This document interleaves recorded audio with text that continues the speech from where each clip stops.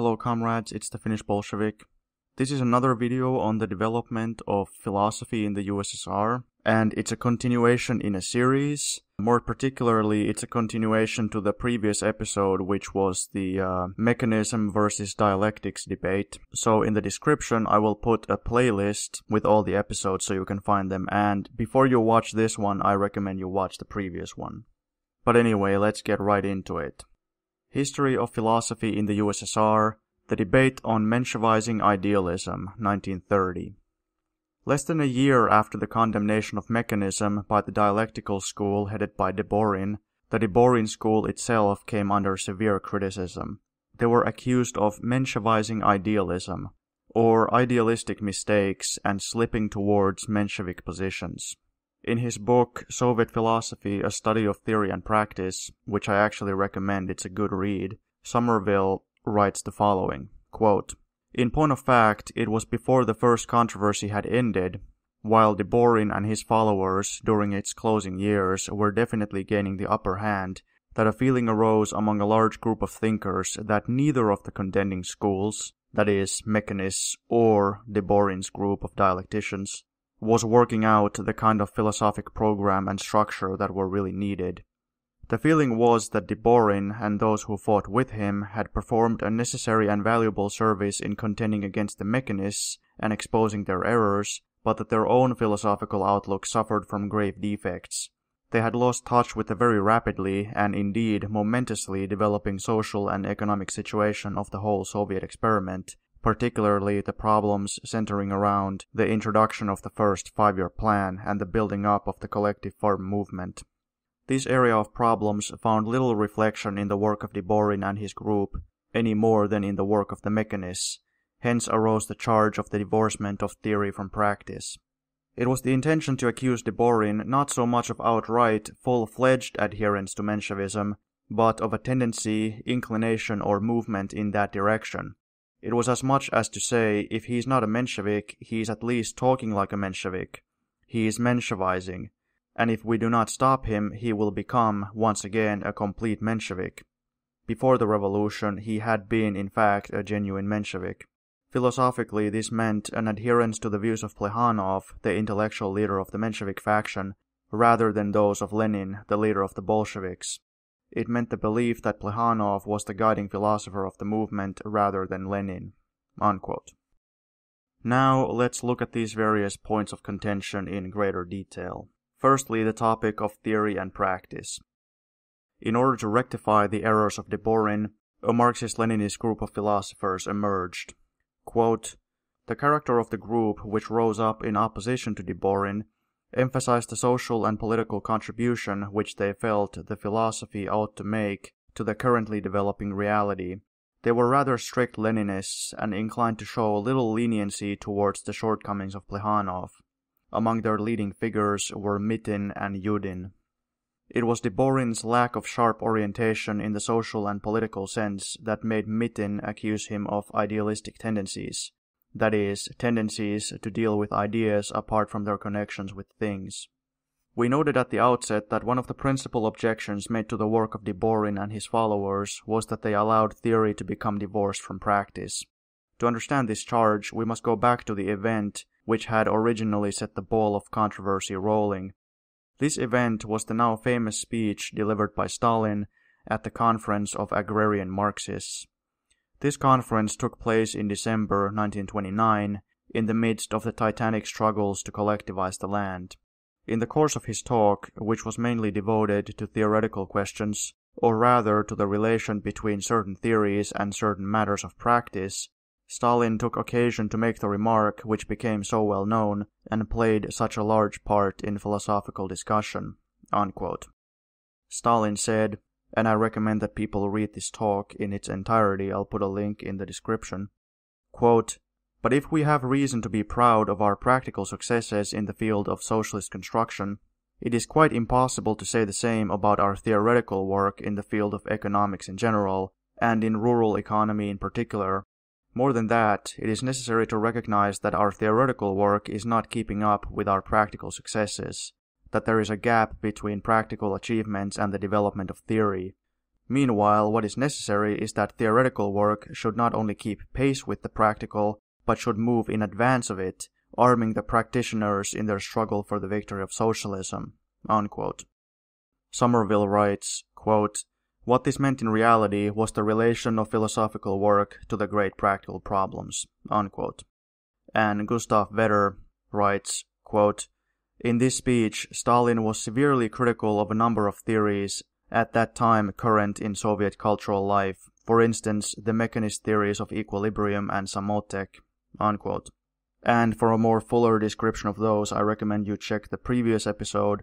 But basically, the equilibrium theory was Bukharin's mechanistic distortion of dialectics, which he took from the revisionist Bogdanov, and Samotek was another mechanistic theory which implied that everything would basically develop spontaneously or automatically inevitably regardless of uh, any kind of conscious action by the communists or the proletariat. It's a one-sided theory that doesn't understand that yes, while history does progress because of material factors and not because of people's ideas, quite often and even more so in the case of the proletariat and in a socialist society, the material factors take the form of conscious action by people. This is why Marx said that ideas or, quote, theory also becomes a material force as soon as it has gripped the masses, unquote. Somerville continues, quote, It was the opinion of Mitin and his group that neither the Deborinites nor the mechanists understood the gravity of the social situation. Both were insensitive to their philosophic obligations in the face of it. They were not doing their part to find the laws of the transitional period, that is, the transition from NEP to socialism. It was that situation around which, as Mitin felt, the philosophic work should mainly revolve, whereas the Deborinites were principally preoccupied with problems of interpreting the history of philosophy. Meanwhile, in regard to sociological matters, it was Bukharin's theories which by default, as one might say, were left to stand in the field. It was such conditions that gave rise to Mitin's charge of divorcement of theory from practice, and scholasticism on the part of the Deborin group. The issues were discussed at length in a philosophical conference which met for three days in October 1930. Everyone concerned presented his views. Among the leading speakers, on one side were Mitin and Yudin, and on the other Deborin, Karev, and Sten. The closing stages of the discussion were marked by Deborin's admission that his leadership had been faulty and that he had not carried out his philosophic obligations in the face of the very serious social problems confronting the people. The consensus of opinion was that philosophic work should proceed along the lines indicated by Mitin's group. Unquote. Couple remarks. It's pretty easy to see why Mitin and Yudin felt that the Deborin group were kind of out of touch with reality and uh, had separated philosophy and theory from political practice. Their work wasn't really contributing much to the immediate practical aims of the government. That's why they were called scholastics. Scholasticism was a medieval philosophy. It was a medieval Christian type of Aristotelianism, and this kind of pejorative view of the scholastics was that they were just thinking about questions like what's the nature of God or how many angels can stand on the tip of a needle or basically pointless questions that have nothing to do with real life. It's important to note that the Deborin group was to a large extent correct when it came to philosophy because they advocated dialectics, but because they had separated theory from practice and they focused exclusively on philosophy and even the history of philosophy, which, as I explained in the previous episode, is not entirely wrong, like the debate on Hegel, the debate on Spinoza. In many ways, that was a worthwhile discussion, but because they focused exclusively on those kinds of things, as a result, even though the mechanist school of philosophers had been condemned and criticized and marginalized, mechanistic theories were still very influential and basically running rampant in political life because the De Deborin group had done nothing to replace them. They hadn't provided anything that could replace the mechanistic political theories. They had only defeated mechanism on very broad philosophical topics. But there is also a difference between the Mechanist group and the Deborin group. First of all, the Deborin group, after they were criticized, they accepted the criticism and they also made a good self criticism and tried to correct their views much more than many of the mechanists had. But let's continue. Wetter writes, quote, on 25th of January 1931, in its resolution concerning the journal Pod znamenem Marxisma, or under the banner of Marxism, the Central Committee of the party condemned both mechanism and Deborinism, and demanded of the new philosophical leadership a war on two fronts in philosophy also. In the field of philosophy, the journal must wage a relentless struggle on two fronts against the mechanist revision of Marxism as the chief danger at the present time, and also against the idealist distortion of Marxism on the part of comrades Deborin, Karev, Sten, and others. The Deborinists were accused above all of having separated philosophy from politics, theory from practice, they were rebuked for not having understood that Leninism represents a new epoch in philosophy, a reproach directed at their high opinion of Plekhanov. All the same, it is noteworthy that it was mechanism which was described as the chief danger at the present time. Unquote. And in many ways, Deborin was actually blamed for not having criticized mechanism well enough.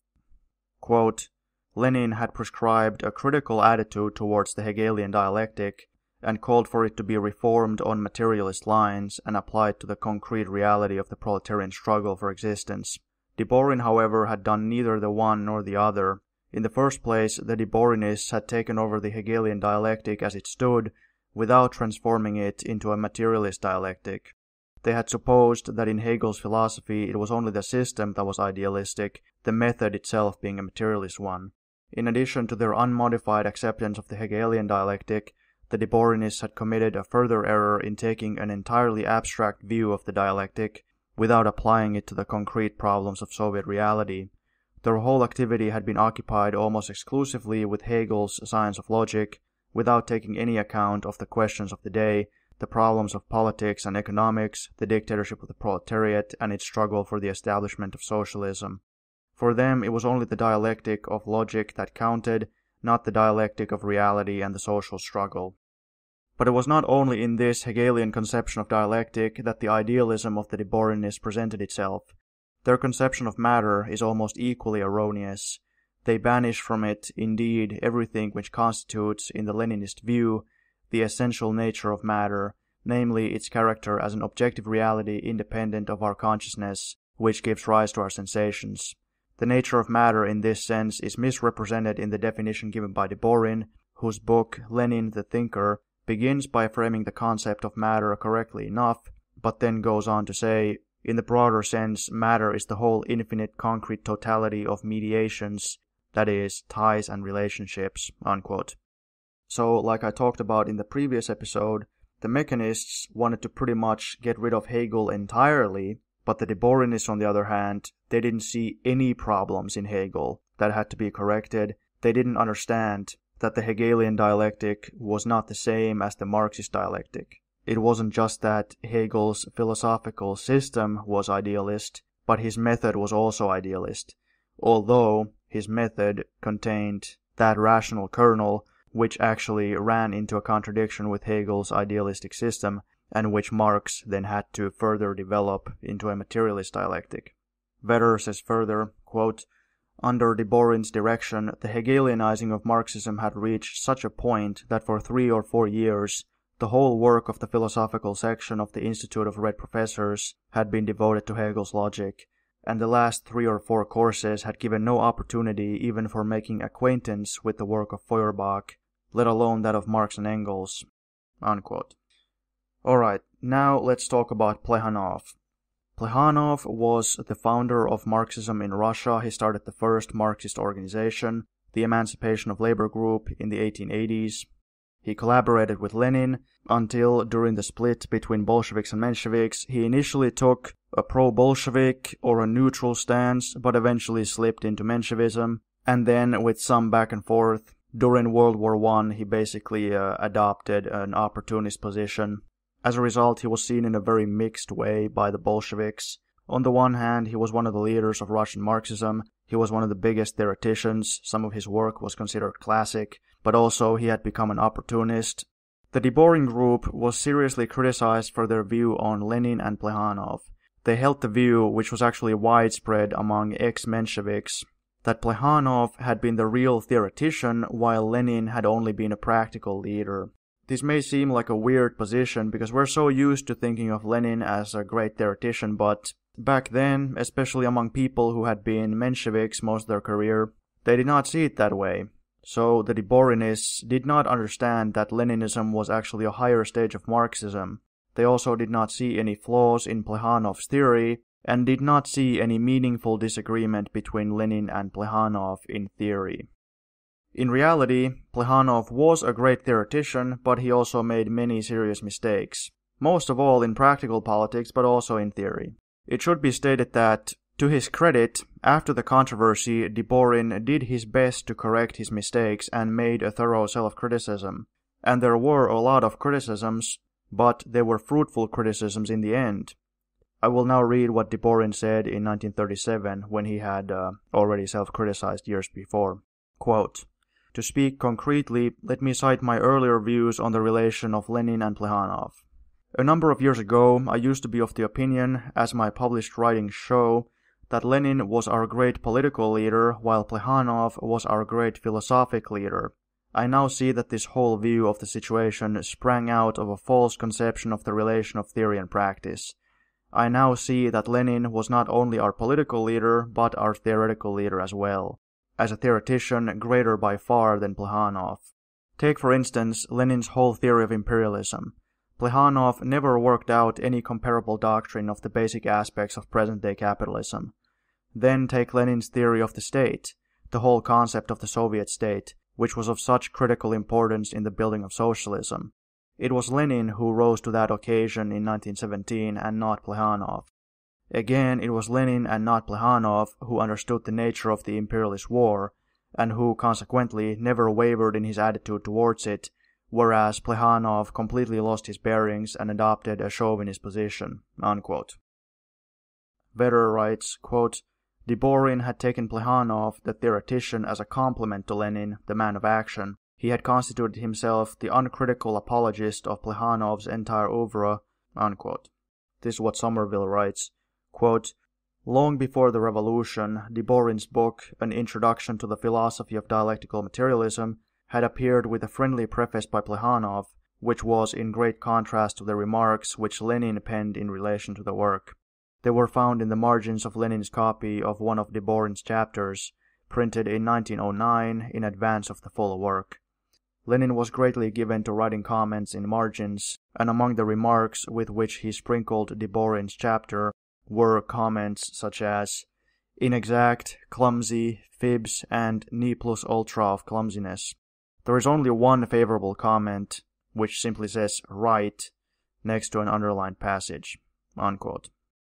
Quote, the objection was that Deborin takes over from Plekhanov precisely what is least valuable in him his apology for Feuerbach, the application of Feuerbach's anthropological principle to epistemology, the discounting of Lenin's theory of knowledge, the so-called copy theory, also known as the theory of reflection, the attempt to solve the epistemological problem of the subject-object relation in terms of purely metaphysical categories, without regard for historical and revolutionary reality, the whole non-political and unrevolutionary spirit of Deborin's philosophy resembles that of Plekhanov's. Unquote.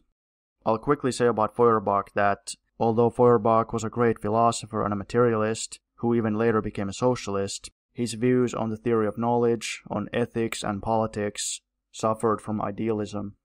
But let's continue.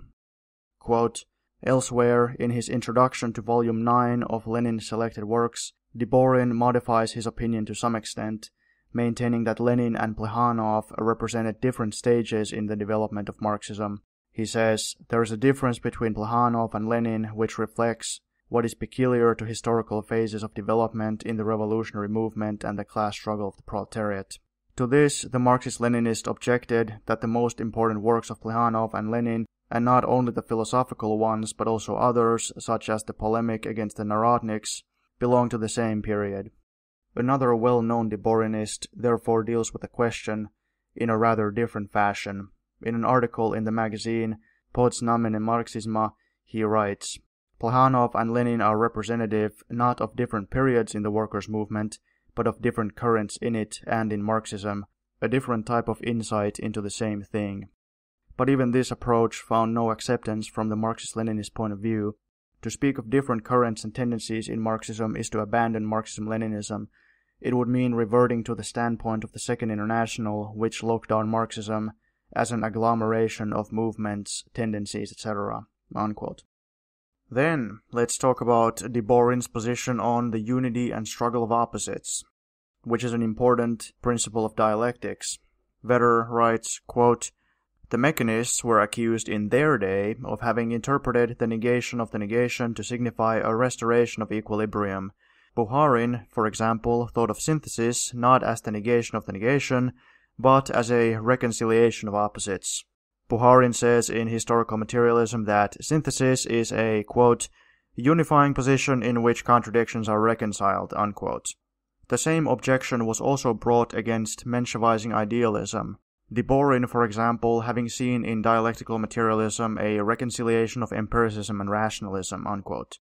There were some empiricists who were materialists, such as Locke and Hobbes, and some who were idealists, such as Berkeley, and there were rationalists, such as Spinoza, who were materialist, some who were in between, like Descartes, and then others who were idealists, such as Leibniz. But it is fundamentally erroneous to say that synthesis is some kind of a reconciliation of these two things. It's more retaining the progressive elements of the contradiction and developing them further and discarding the outdated elements.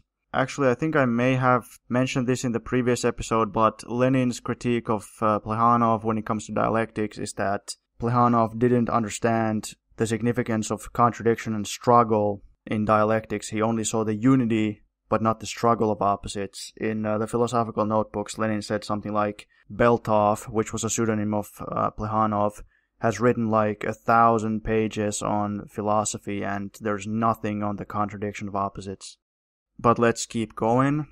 Quote, Mitin makes a further objection to Deborin that the latter's view of dialectic represents a reconciliation of opposites, not a struggle between them.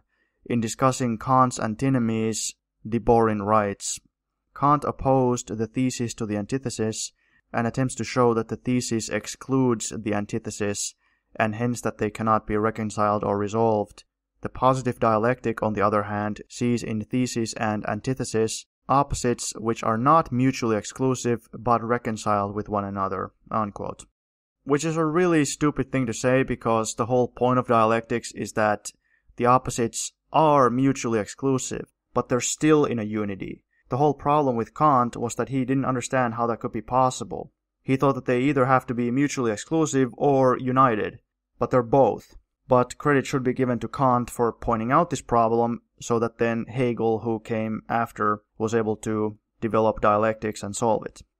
Mitin contrasts this view of dialectic with that of Lenin, according to which it is not the unity but the opposition which plays the primary role in the dialectic, the unity of opposites is relative, temporary, transient, whereas the conflict between mutually exclusive opposites is absolute, like the development of movement itself. Unquote.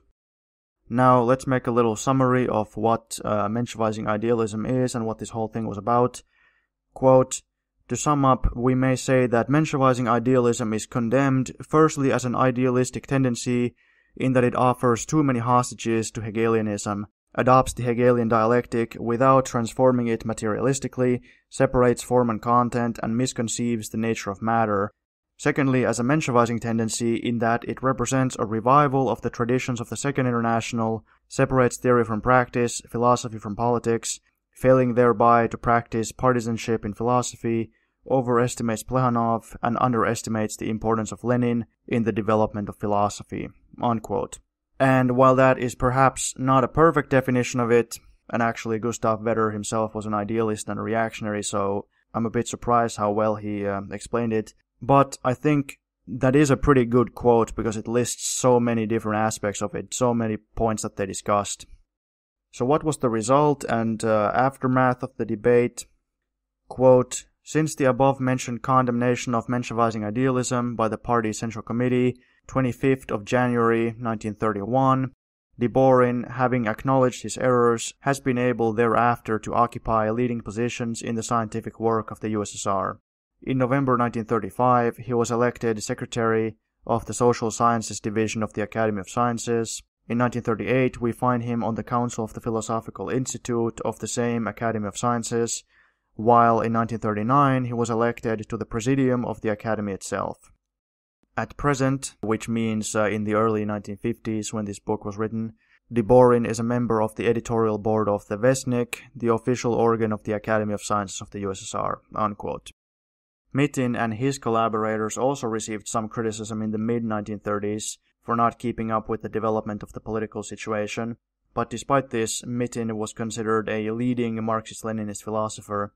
Quote, on the occasion of his nomination to ordinary membership of the Academy of Sciences in 1939, Mitin's services to Soviet philosophy were appraised by the Vestnik of the Academy as follows.